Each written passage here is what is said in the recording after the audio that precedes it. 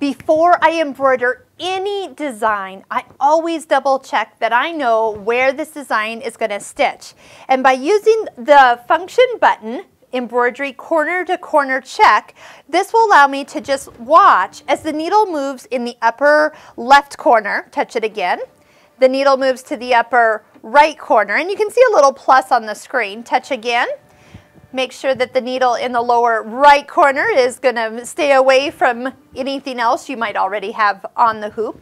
And if you touch it again, this is where if your design needs to be positioned in exact placement on the fabric, you can go ahead and then move the design to be up or down as you go here. So definitely take a look at that.